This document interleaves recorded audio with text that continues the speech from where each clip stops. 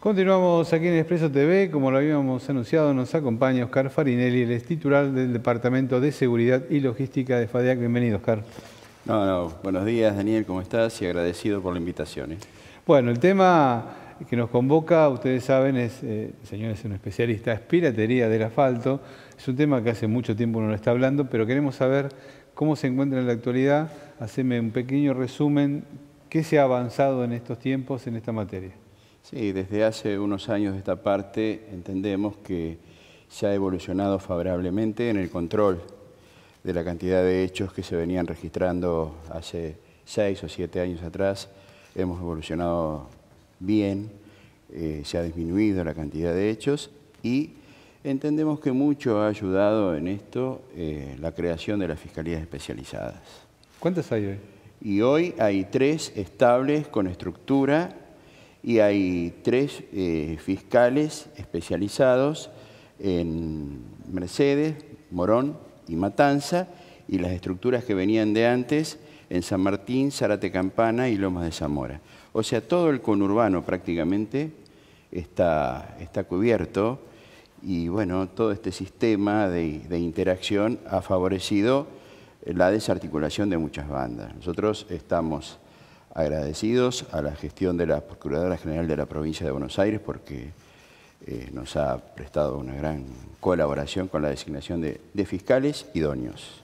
El tema cuando uno habla de, piratería se, imagina cuando ve los titulares que ocurrió un siniestro, inmediatamente salen a decir este, cuatro camiones por día, cinco camiones, tres, este, siempre lo malo es tapa, ¿no? Este, pero lo que quería compartir con ustedes, que estaba hablando fuera de cámara con él, es que cambió la modalidad. No son camiones exclusivamente lo que se roban ahora. Sí, desde luego, y de acuerdo a lo que estaba describiendo recién, la, gran estructura de, piratería como delito organizado va mutando hacia otros transportes.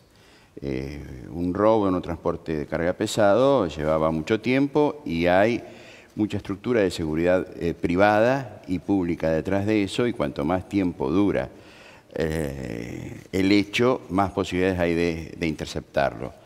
Entonces ha habido una mutación hacia el transporte, digamos, utilitario, de menor porte, eh, que sale de los centros logísticos, especialmente acá en la Ciudad Autónoma de Buenos Aires. tenemos alguna repetición de este tipo de hechos y bueno, eh, se corta el transporte a las 10 cuadras de donde cargó la mercadería y, bueno, es un traspaso de, una, de, un transporte a otro y no dura más de 10 o 15 minutos. cuando llegan se encuentran el, el transporte vacío. Ya la señal satelital, cuando dio alerta, ya el hecho está prácticamente consumado. Estamos trabajando eh, mucho también con eh, robos y hurtos de Policía Federal eh, planteando estrategias para controlar esta, esta modalidad que podemos decir que es bastante nueva. Seguimos con los, seguimos, ¿se sigue con los mismos productos que, se están robando? ¿Se elige en la mercadería? Sí, generalmente la, mercadería, tanto sea en el transporte pesado, que todavía tenemos algunos hechos como transporte liviano, ya es prácticamente por encargue. Eh, así que eh, la mercadería de se ha dado mucho en electrodomésticos, electrónica, eh, ropa y, bueno, y alimentos eh, también en algunos casos.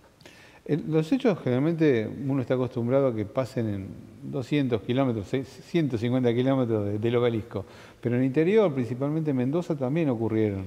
Sí, eh, el año pasado tuvimos una seguidilla de algunos hechos, pero se hizo una buena interacción, digamos, entre la Policía de la Provincia de Buenos Aires y la Policía de la Provincia de Mendoza y se logró la, aprehensión de, la organización delictiva que estaba trabajando de punto a punto, ¿no es cierto? Y bueno, y ha disminuido y yo ya no tengo, no me están, nos están llegando este, comunicaciones sobre nuevos hechos. El tema, eh, obviamente, no es solo de Argentina, es una endemia regional, está ocurriendo en nuestros países, ya me vas a contar, pero ustedes también están asesorados por, o tienen un convenio con un organismo internacional, ¿no? Así es. Eh, nosotros el año pasado hicimos, firmamos un convenio con, con IATI, que es una asociación internacional de investigadores contra el robo automotor, que tiene sede en 61 países.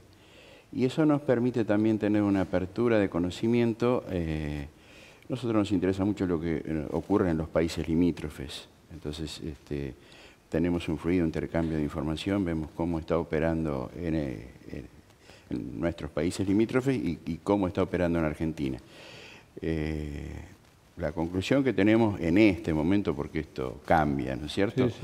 Es que estamos en un nivel muy bueno, muy bueno en cuanto a la disminución de hechos. Hace el mes pasado estuve intercambiando información, estuve en San Pablo y Brasil, Uruguayana, y bueno, hemos estado conversando con empresarios, fuerzas de seguridad, y no y lo que ocurrió en otros tiempos es que siempre había teníamos siempre teníamos algún reproche o reclamo de los países vecinos sobre algún robo y bueno han sido coincidentes en que se ha disminuido muchísimo el robo de transportes en, nuestro país. En el caso de Mendoza se fueron para el lado de Chile, porque ahora en Chile están mal. Chile está, eh, tenemos entendido que está con serios problemas contra la piratería del asfalto.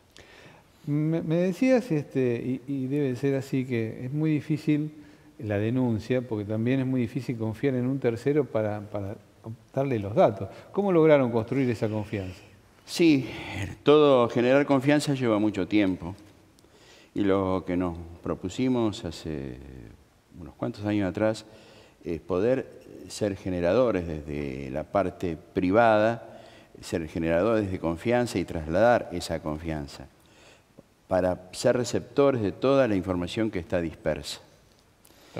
O sea, nosotros nuestro concepto es que, la información dispersa, lo único que ayuda es al delincuente si uno la centraliza y la canaliza, como lo estamos haciendo actualmente, a través de la Fiscalía, están todas aquellas, toda aquella información que es sustentable este, judicializada.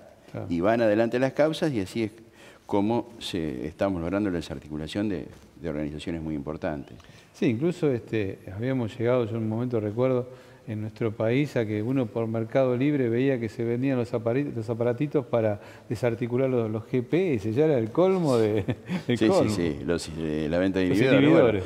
nosotros hemos hecho, con, juntamente con Yati, una propuesta para que se prohíba la venta de estos aparatos, pero todavía estamos en el intento.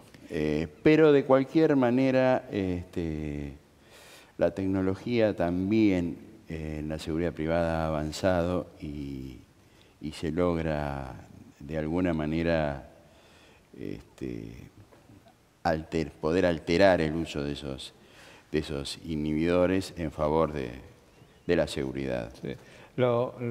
es, bueno que hayan cambiado la modalidad digo en cuanto a lo que son los camiones, porque no solo en su momento se robaban las mercaderías, sino también los tractores, los, camiones. Bueno, en ese sentido eh, es muy oportuna tu, tu apreciación porque eh, operaban en el país dos grandes centros de, desguace de, camiones y por suerte con, con buenas tareas policiales y judiciales se han logrado desarticular en, muy buena medida. Es muy poco en este momento eh, el transporte que, desaparece eh, para desguace o, utilización a, través de, como se dice, emponchado, cambiar de color, de pintura. Y, es muy poco el transporte que está desapareciendo en este, en este momento. Bueno, Oscar, yo te agradezco mucho. Me queda una sola pregunta. ¿Cuánto hace que estás con este tema, Fabio? No, no, yo soy comisario general retirado de la Policía de la Provincia de Buenos Aires. Y bueno, luego que me pasé a retiro, este, ya venía trabajando hace más o menos 10 años atrás que, vengo con, en, policía, era una de mis tareas. Ahora, desde hace 7 años atrás, es mi principal tarea.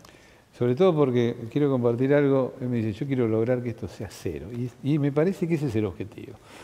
No, eso es, no, sé que no lo vamos a lograr, pero no hay que bajar los brazos. Estamos trabajando día a día, siguiendo donde se genera una reiteración de incidentes o algún incidente, investigarlo, tratar de poder reunir la información para, para aportársela a, los fiscales que lo investigan, sea cual sea la provincia en que ocurrió el hecho, eh, y no bajar nunca los brazos. Si bajamos los brazos, no nos va a ir bien. Te agradezco mucho la presencia y te felicito. No, no, yo les agradezco a ustedes la oportunidad de poder mantener el, tema este vigente. Muchas gracias. Nosotros hacemos una pequeñísima pausa y ya estamos con ustedes. Ya volvemos.